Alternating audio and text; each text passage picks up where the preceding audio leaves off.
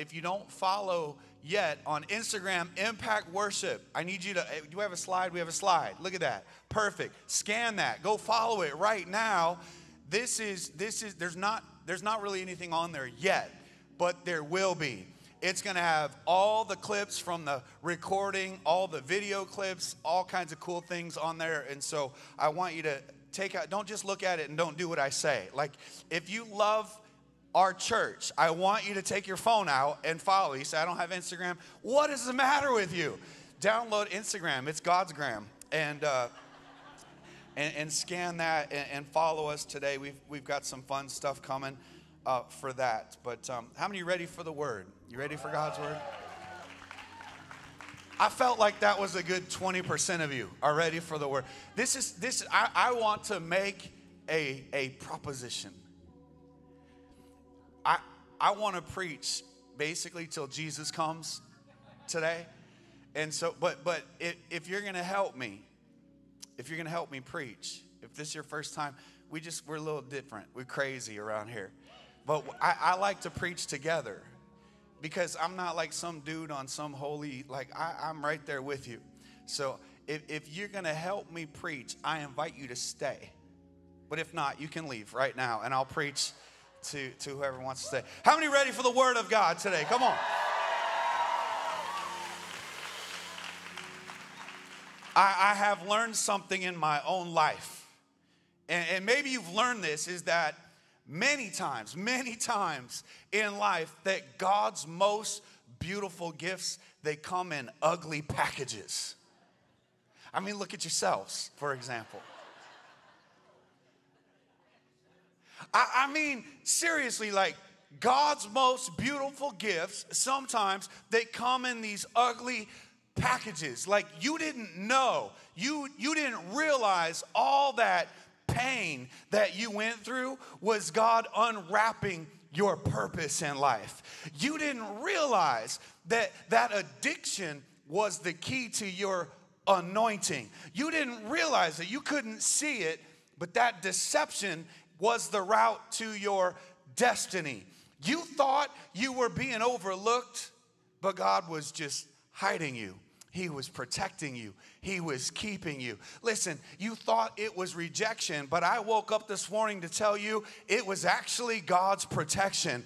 God was keeping you and hiding you and saving you for something better. Now, listen, it's interesting to me because the Bible says this. It says in Genesis 50, verse 20, that what the enemy meant for evil, God will take it and use it for good. How many believe that in your own life today? In other words, the very same weapon that the devil tried to use against you is the same weapon that you're going to use against the devil.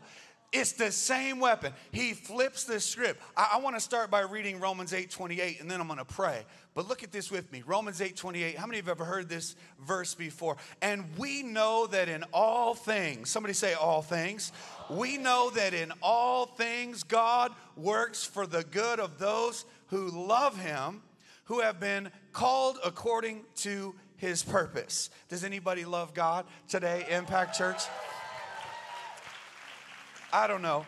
I've told you this before, but everything's a competition to me. Everything. That's why my wife and I don't even play Uno because she's very competitive too. And we'll end up in therapy over an Uno game. But everything is a competition. Everything. Everything's a competition. I don't know why. It's just that way in my head. And every time I preach, I've got this internal game going on who won, the 9 a.m. or the 11 a.m.? And I just want you to know right now, you're losing badly to the 9 a.m. So you can change that, and I'll let you know who wins by the end of the day. But it's a competition. Look at somebody and tell them, we're going to win this one. Come on, tell somebody, we're going to win this one. Father, thank you for a great day. We thank you for your words. Speak to us, change us, challenge us. God, love us. We pray this in Jesus' name. We all say, Amen. Amen. Let's give Jesus another round of applause. Come on.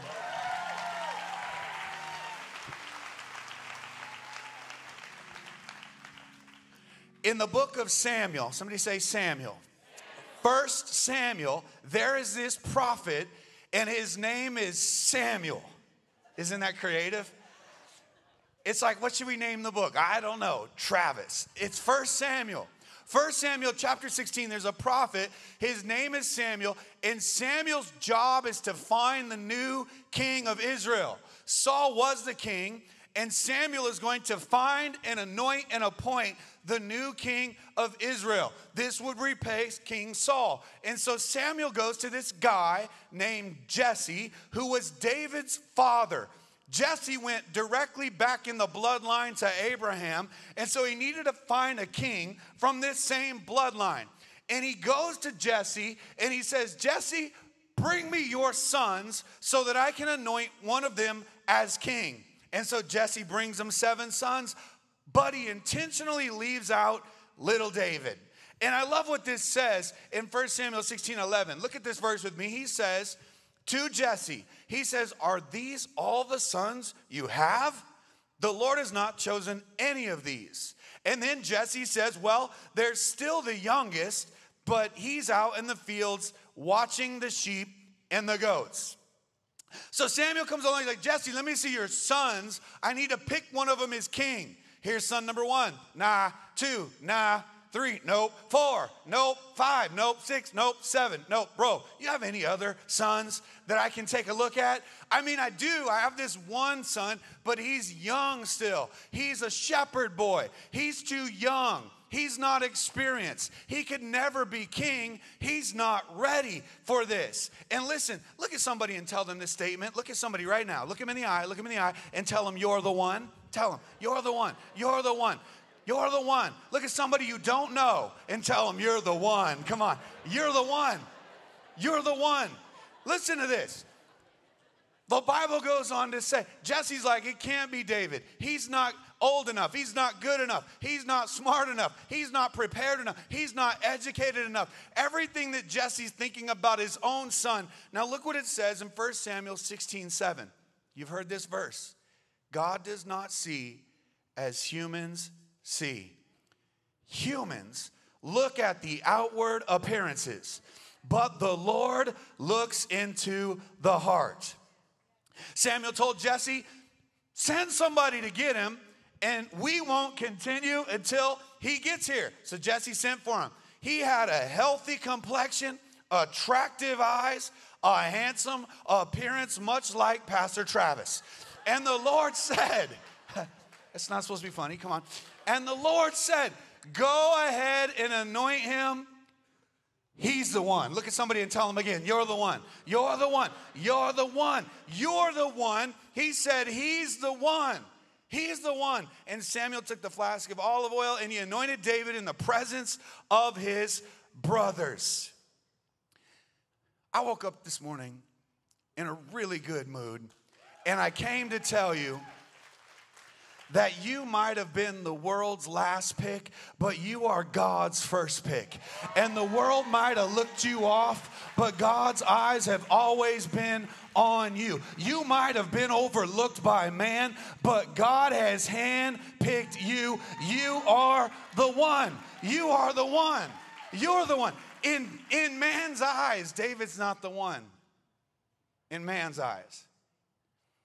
But in God's eyes, he's the one. In man's eyes, you're just a kid. In God's eyes, no, you're a king. You're the one. You're the one. And I wanted to talk to you today, those that have felt overlooked and you have felt unseen in your life. God wants you to know today that you are the one. God sees you, He sees your hard work, he sees your selflessness as a wife, as a mama. He hears your dreams and your heartbeat and your passions. He sees your pain. He sees your tears. He sees your fears. He sees every trial and every struggle. God sees your heart.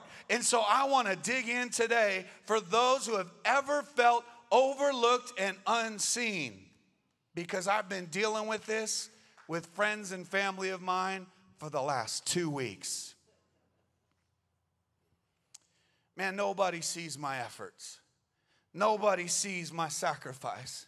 Nobody sees my abilities. Nobody recognizes my talents, my heart. Nobody can even see my anointing. And I have felt this way in my own life many times, overlooked. Like, God, hello, pick me, pick me, pick me, pick me, pick me. God, I feel like nobody is noticing the hard work. Nobody's noticing the sacrifice. Nobody noticed God. I need you. I need you to recognize me. And listen, this is what I want to tell you today, and I said this a minute ago. But I've realized in my own life that when I have felt that way, that God wasn't overlooking me, He truly was keeping me hidden for the right place in the right time. And He's doing the same thing for you. You know, God has a better plan for your life than that relationship that didn't work out.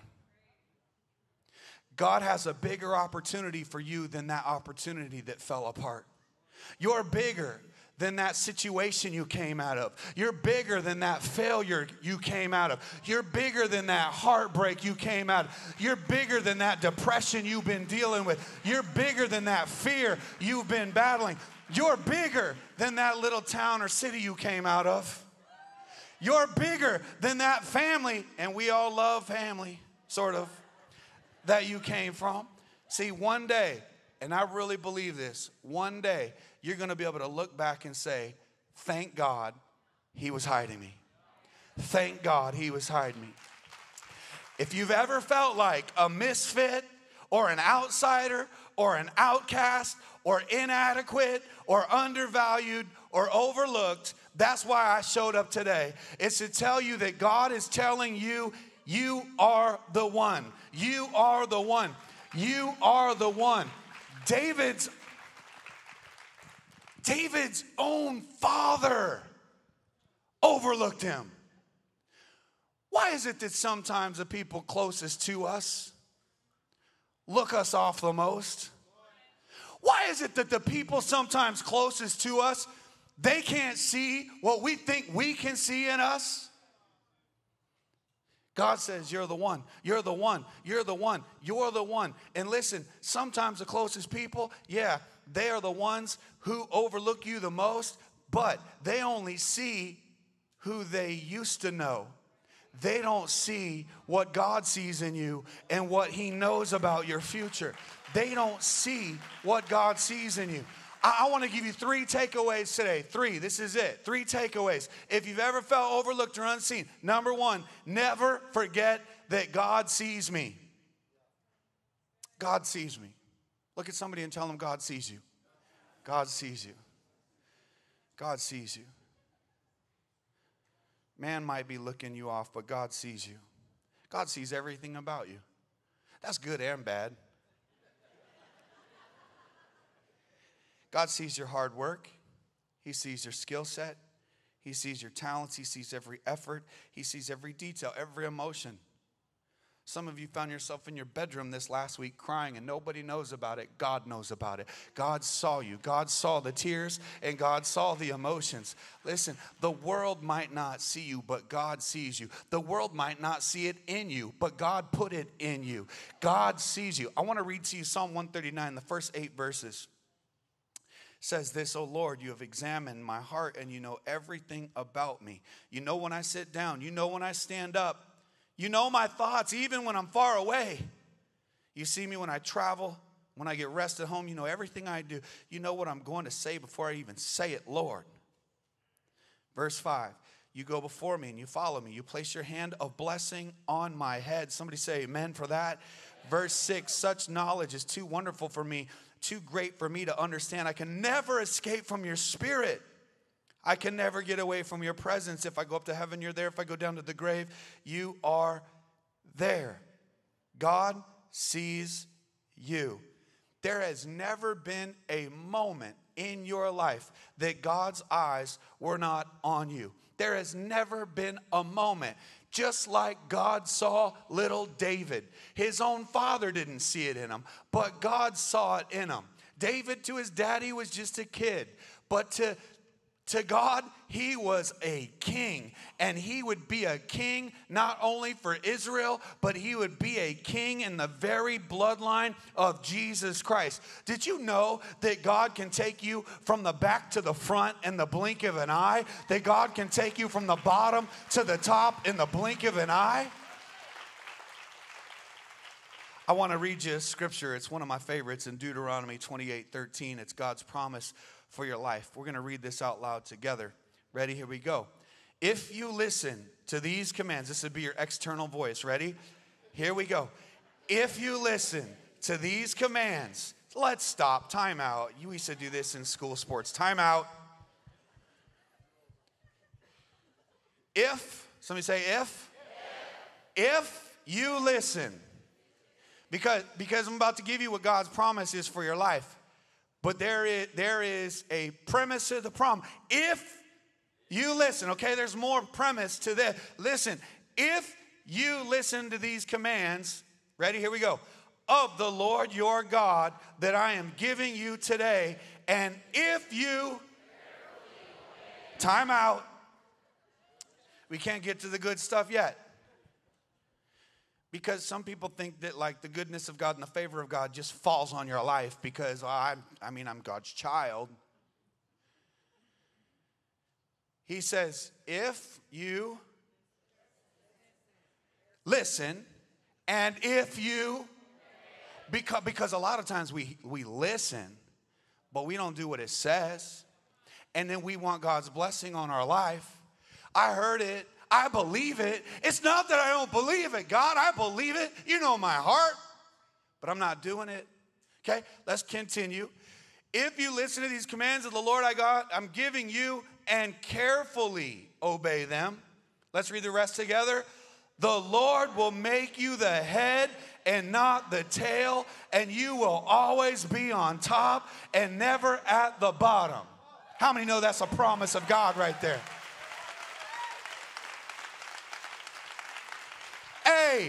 Some of y'all can't get off the bottom, and you're like, man, why has my life always been like this? Man, every time I try to get, oh, I get kicked back down to the ground. And I don't understand because God's word says that I can do all things through Christ who gives me strength, but I feel weak and I'm at the bottom. I've been at the bottom my whole life.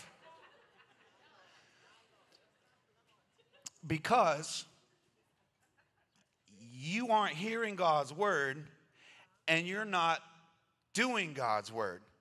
Listen, I, am gonna step on some lot of toes. I know it. I want God to bless my finances, but I'll never give Him 10% because I'm afraid and I fear what I won't have instead of what I might have.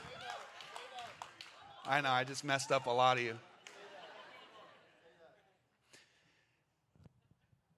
And he says, I want to read it again because he's saying, listen, if you if you listen to these commands, the Bible, the word, if you listen to them and if you do them, it doesn't matter if you like them. it doesn't matter if they feel good to you. There's a lot of things in the flesh that feel good. There's been some times I've wanted to kill some people. In the moment, that might have felt really good or at the very least, slap them upside the head. Not a good idea. Not a good idea.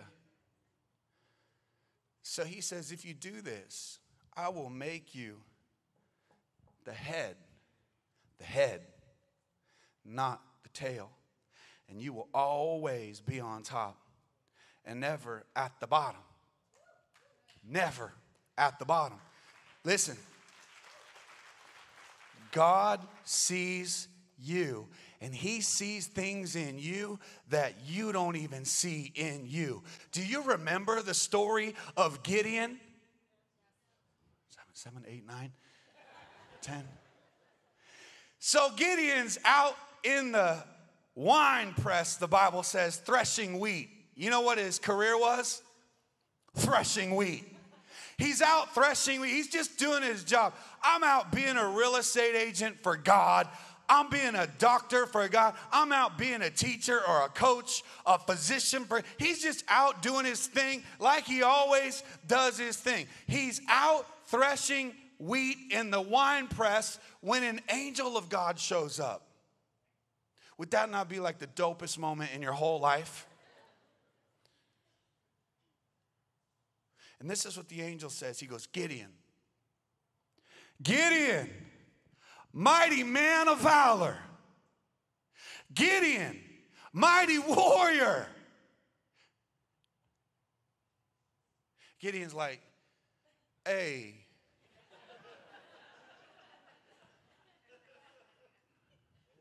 You, you might have the wrong Gideon. There's another Gideon two blocks down. You got the wrong Gideon. No, I got the right Gideon. Gideon, God sent me to come see you and give you a message today.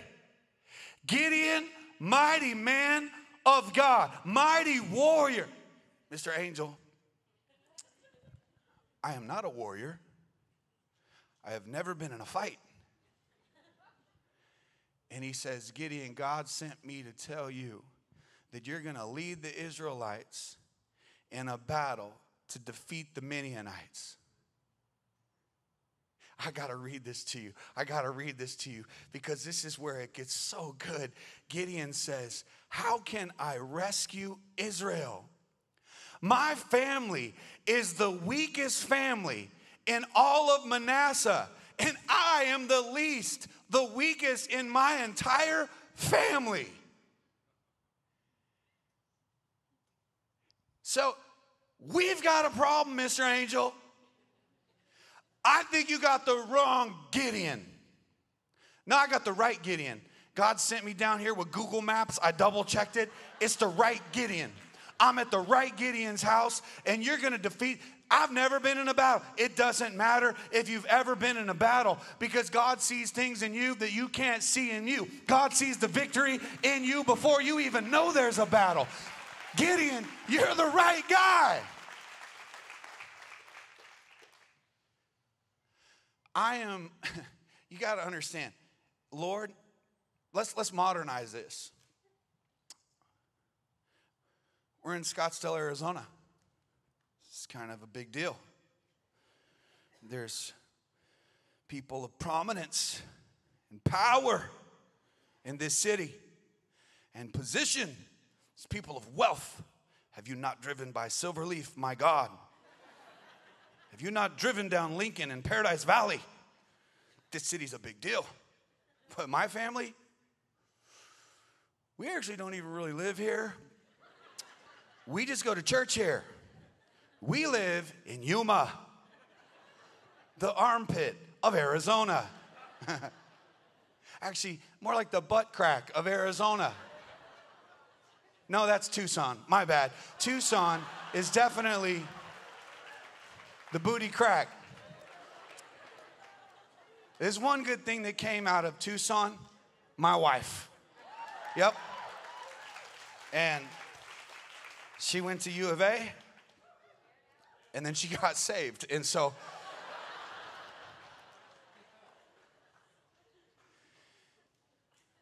like, okay, let me just say this, Mr. Angel.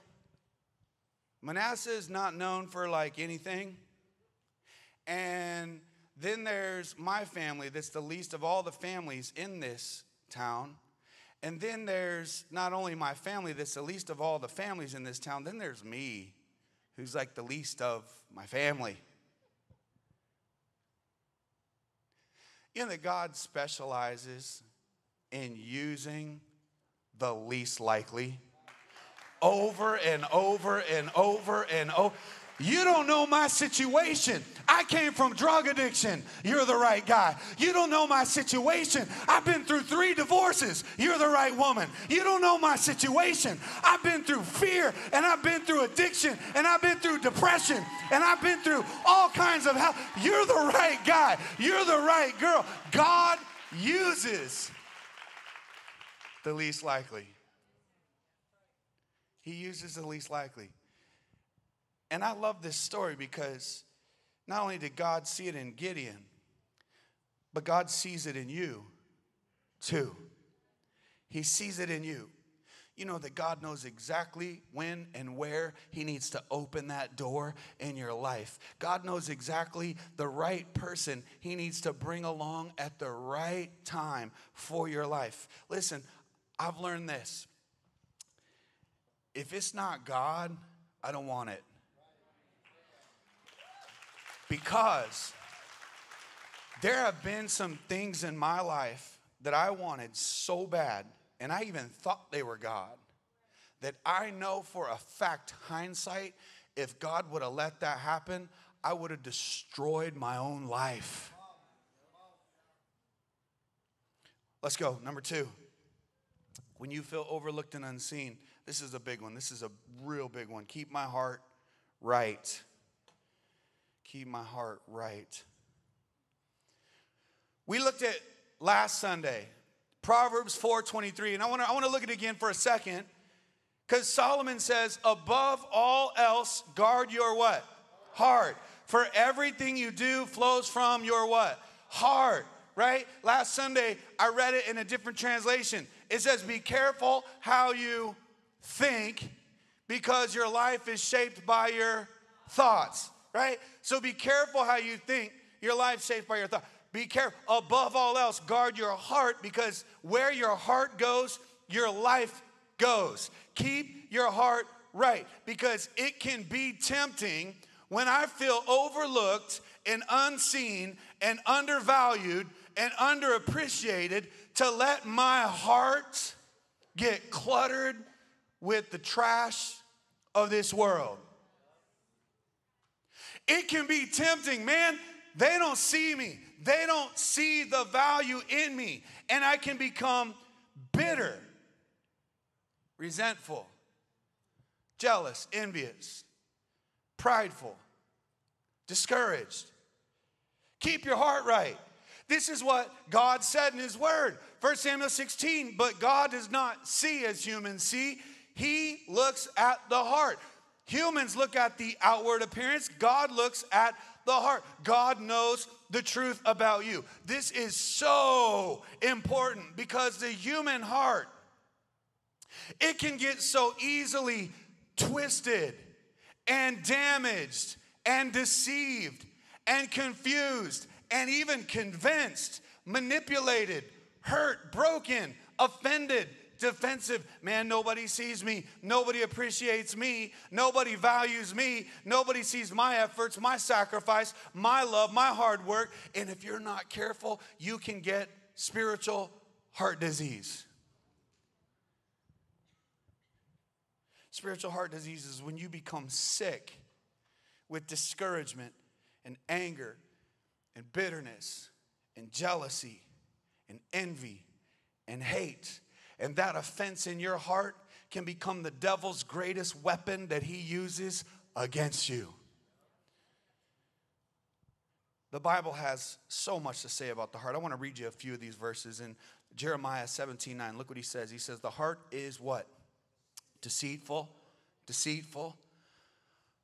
And it's deceitful above all things and beyond cure. Who can understand it? You know, he's not talking about He's talking about your heart. He's not like that dude over there's heart is deceitful. He's talking about your heart, my heart. The heart is deceitful and it is beyond cure. Has your own heart ever deceived you? Raise your hand. It's deceived. You thought that was a really good idea. And five years later, you look back and go, What in the hell was I thinking? Anybody ever live that? Because the heart is deceitful. I've done it in every, I've done it with people I've hired. I'm like, that's a really good idea. Four months later, that was a really bad idea. Relationships, that seems like a great, nope, that's a really bad idea. I've done it with like investments. Hello? That's a really good investment. That's a really bad investment. Right? The human heart, it's deceitful. It is beyond cure. This is what Proverbs 3 5 says. It says, Trust in the Lord with all your heart and what? Lean not on your own understanding. Why? Because your own understanding is limited and it is deceiving. Right? Psalm 51. David, David, by the way, David, the Bible says, was a man after God's own heart. David became king and was anointed and appointed king, not because of his talent, but because of his heart. But he wasn't perfect. He not only had an affair, gets a woman pregnant that's not his wife, and then he's in charge of the military. He decides to put her husband on the front line so he dies. I mean, that's messed up. Raise your hand if that's messed up. How many of you have ever killed somebody? Raise your hand. It's messed up. How many of you have ever, how many of you are currently actively having an affair? Raise your hand. No hands. Liars.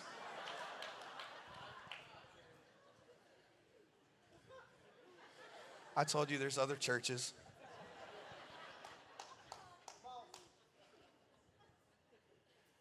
What I love about David is there's this prayer in Psalm 51 verse 10. And David said, Create in me a clean heart, O God, and renew a right or a steadfast spirit within me. See, why is David a heart, a man after God's own heart? David had a repentive heart. If you're going to be repentive, you have to look yourself in the mirror and be honest. You got to be truthful about yourself because we live in a self righteous day. So I got to look at myself for who I am. That's not enjoyable. And have a repentive heart. The Bible says, and David said, a broken spirit and a contrite heart you will not despise. I love this prayer. God, create in me a pure heart, a clean heart. Jesus talked a lot about the heart himself. He said, Where your treasure is, that's where your heart is. What does he mean? Where you spend your money, that's what your heart is on. That's what he said. I didn't say it, he said it. I'm just repeating what he said. Like if I could see your bank account statement for the last 12 months, I could tell you what you love the most. Wonder if God would be number one. It's just like Starbucks, Starbucks, Starbucks, Starbucks, Starbucks, Starbucks, Starbucks. Mine would be Mexican food, Mexican food, Mexican food. Shoes, shoes.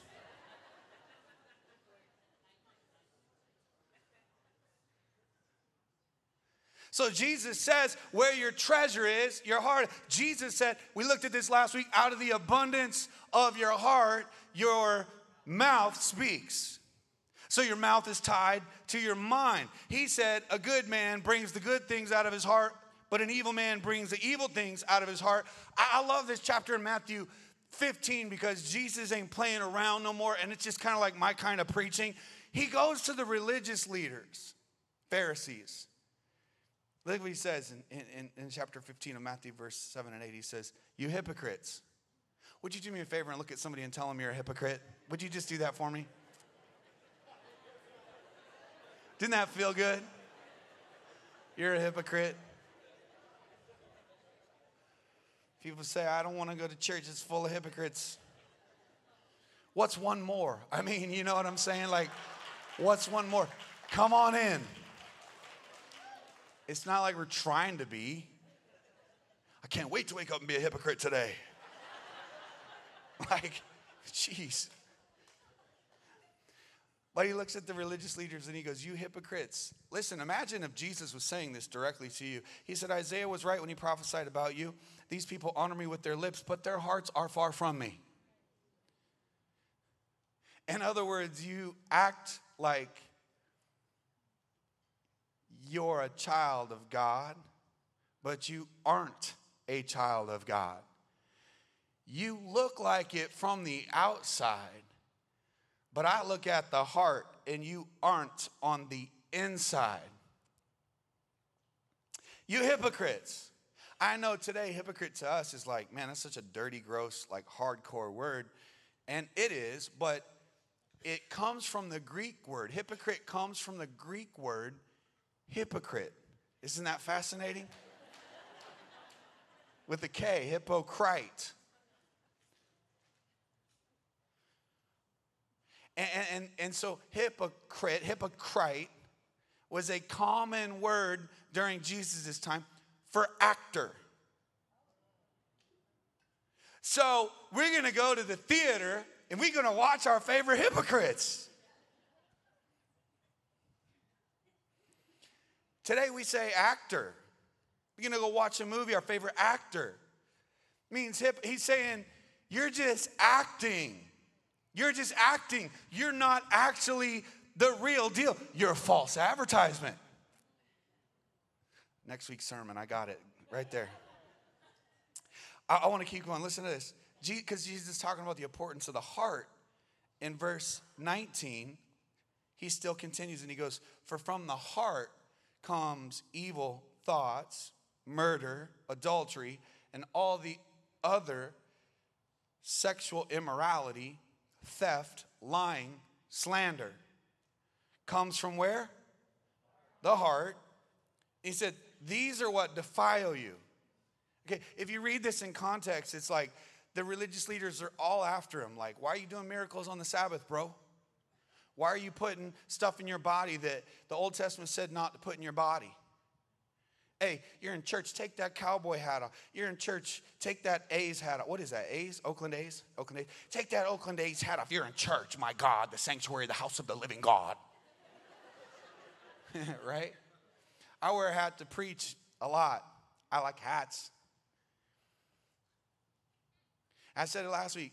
Listen, God is more concerned with your heart than the hat on top of your head.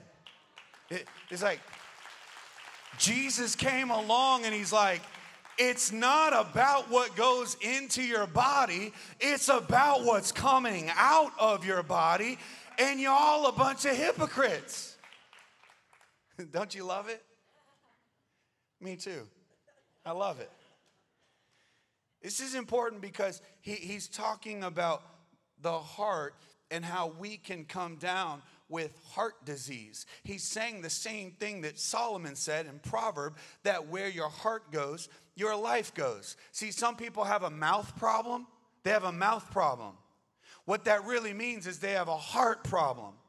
Man, I can't clean up my mouth. I, I, use profanity and I lie, and then I lie about my lies, and I lie about my lies and my lies.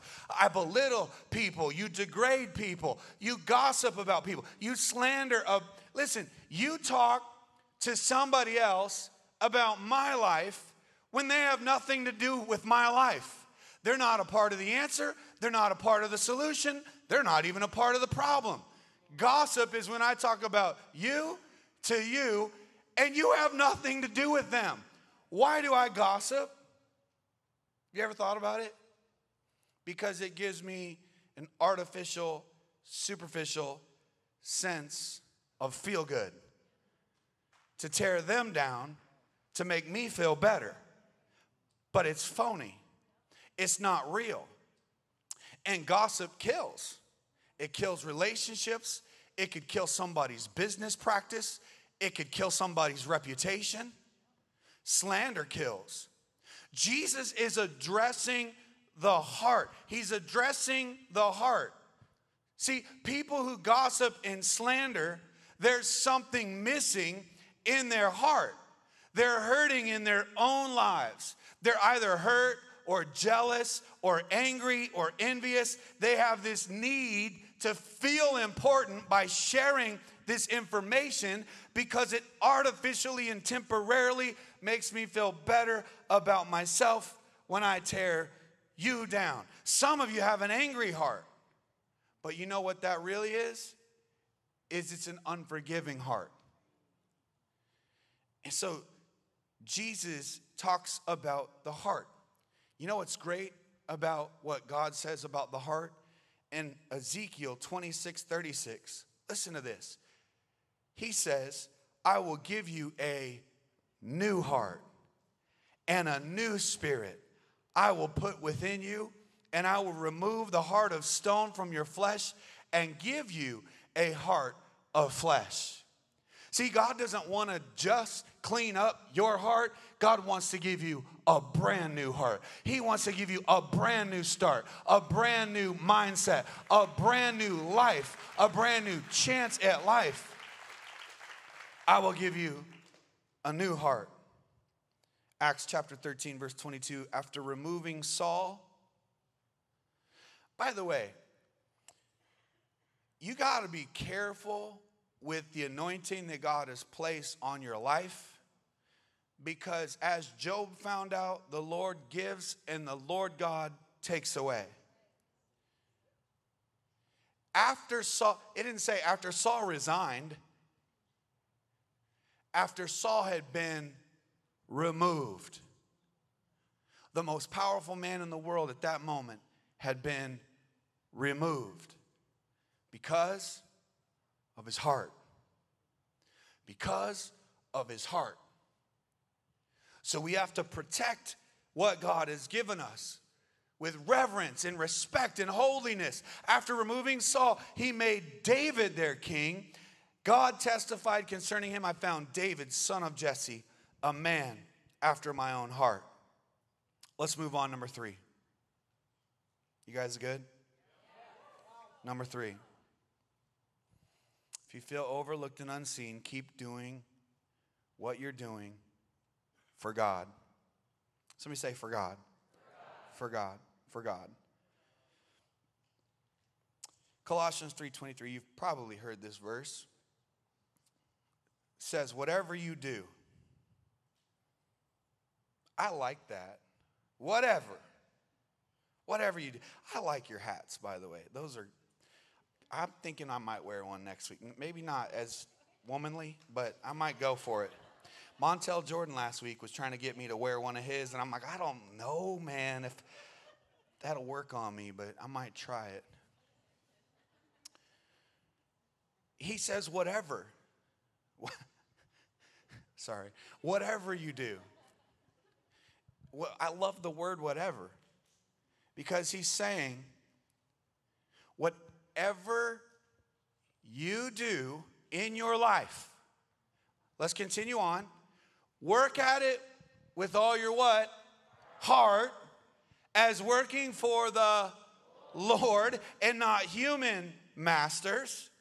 Since you know that you will receive an inheritance from the Lord as a reward, it is the Lord Christ you are serving. So if whatever you do is all encompassing.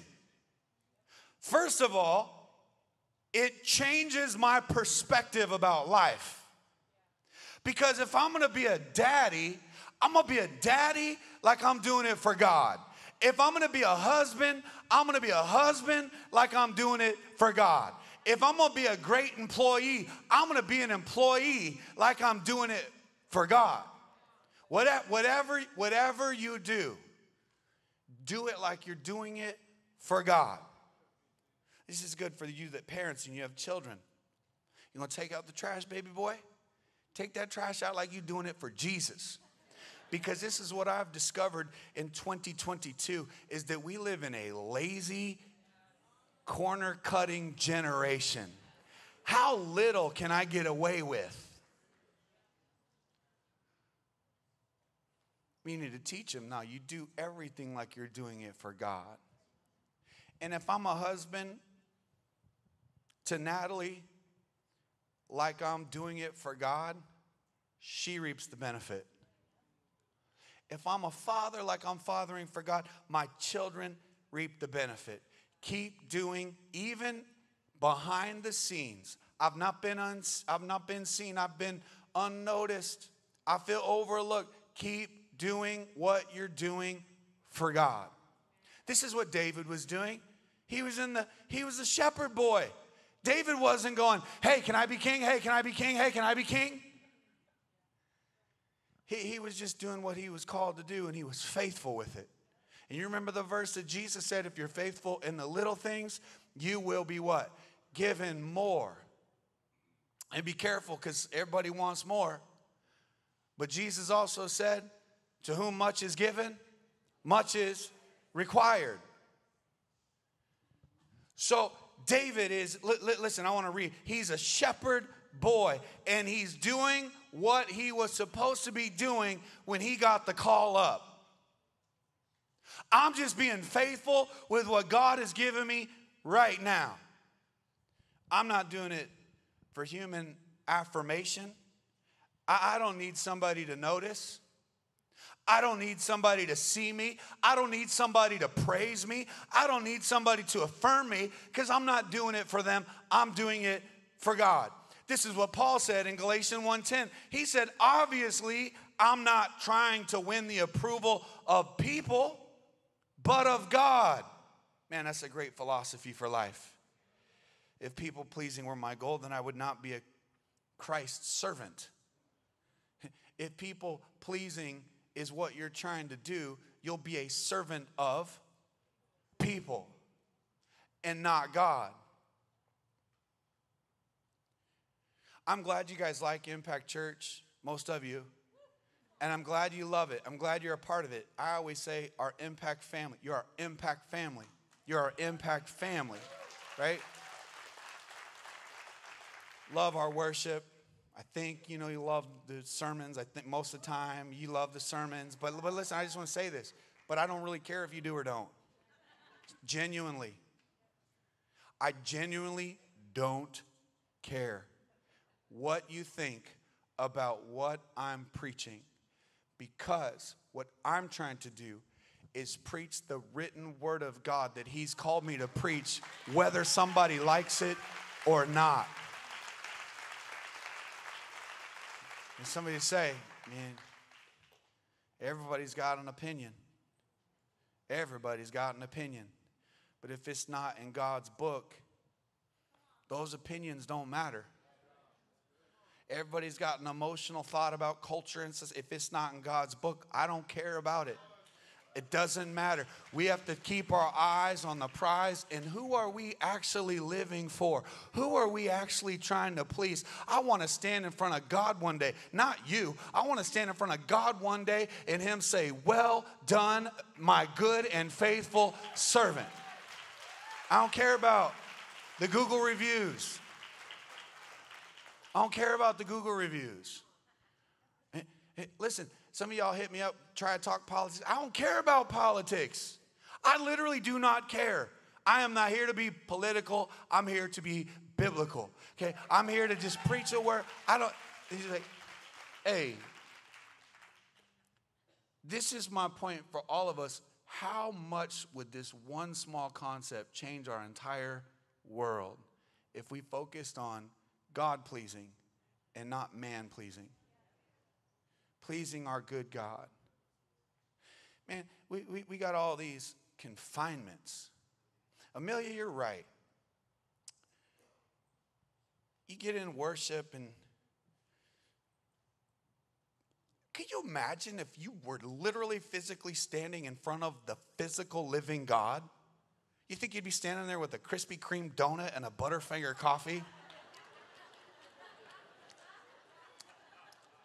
Well, she's kind of crazy. Nah.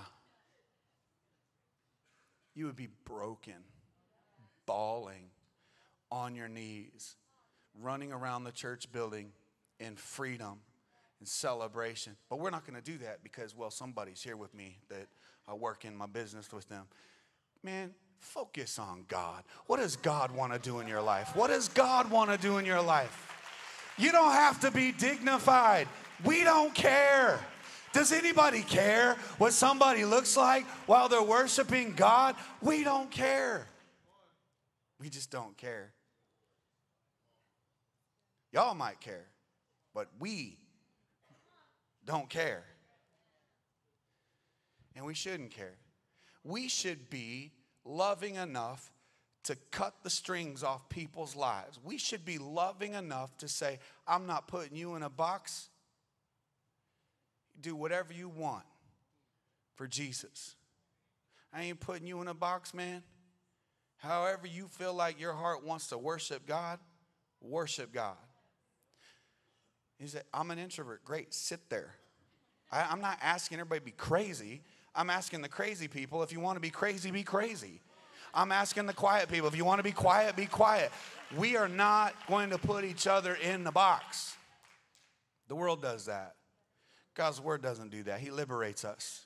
If you start reading through the scriptures and seeing all the weird things that happen after somebody received a miracle, or how about before somebody received a miracle?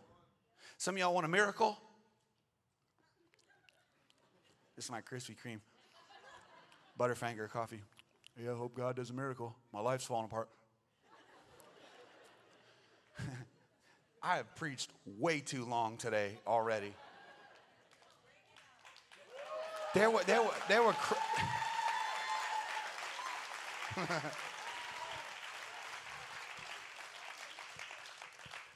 I really, I really got to finish. What time is it? 1237. 1237. It's like, okay. Everybody that works for me, keep going. I'm just saying, like, dude was blind. Do you believe? I do believe. Jesus reaches down, takes some dirt, spits in it, and shoves it in the dude's eye sockets. And he still he still wasn't healed.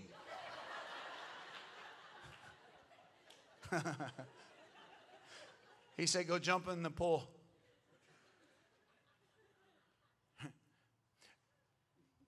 Weird stuff, man. Like, we want, we want God to do the supernatural, but we're just going to stay confound in the natural. I'm not saying go jump off a building or something and be like, God, save me. you said in Psalm 91, your angels will rescue me. Woo! Like, you're going to die. I mean, I need my worship team. Come on, I, I gotta, I gotta, I gotta close. But I, but I do want to close with a couple thoughts because I think it's actually sad that we live in a world that glorifies and values what we see and not what we don't see. The world makes us think that what's seen is significant, but it's what's unseen that's significant. Like, man, you're, you're, a, you're a celebrity. Can I get your autograph? Can I get a picture? And then we post it on the gram, the God gram. We're like, look who I was with. And it makes us feel a little bit more significant than we are without it. We never go up to somebody who's like, dude, can I get an autograph from you? What's your name? Scott, Scott can I get your autograph? You're like, yeah, but why? I'm nobody. Because, bro, you have incredible character and you have high integrity and you love Jesus Christ, and that matters to me. hey, could you imagine after church today, you're like, I got this dude's autograph. And everybody's like, Who is that? Who is that? Who is that? Is he somebody? He must be somebody. You click on his followers, and it's like he's got like 12 followers. That's nobody. Now he's somebody.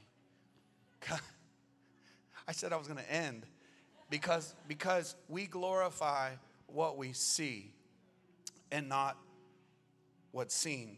We glorify actors and actresses and athletes and celebrities and wealthy people. And listen, somebody could be morally and spiritually bankrupt, but if they got talent and they got money, then we celebrate them. We glorify the visible when the invisible is what's most valuable. Man looks on the outward appearance, but God looks at the heart. See, listen, I want to tell you to keep working diligently, but also keep building your character and allowing God to build your character in the dark. Because, listen, I, am going to just tell you from experience that spotlight, it will either highlight you or expose you. Father, we thank you for this great day. We thank you for your word. We thank you for the power of your Holy Spirit. We thank you that, Lord, your word can be hard to hear, but it can also be a great, a great life changing experience if we truly hear it and walk it out. Listen, I know there's somebody here that you said, man, I'm not even a Christian yet. I, I came with my family member, I came with a friend. I, I I don't even know really why I'm here. I'm here to tell you why you're here. God wants a relationship with you. God sent his one and only Son, Jesus, to die on the cross for you, to pay the price for your sins, past, present, and future. He wants a relationship with you. Romans 10, it says that if you believe in your heart, if you confess with your mouth that Jesus is Lord, then you are saved. And if you're here today and you don't have a relationship with God, today you say, Man, you're speaking to me, PT. I want to give my life to Christ. And I want you just to do that right now. Pray in your own way, in your own mouth, from your own heart. Jesus, today I give you my life. Come on, say that out loud. Jesus, today I give you my life. Say this out loud. Thank you for dying on the cross for me. Thank you for dying on the cross for me. Today, I want to live for you.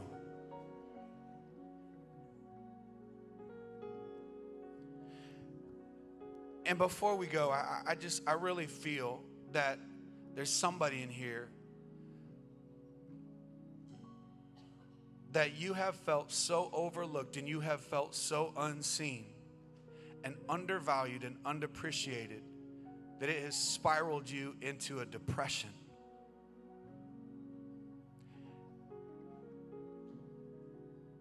And that depression, I want you to know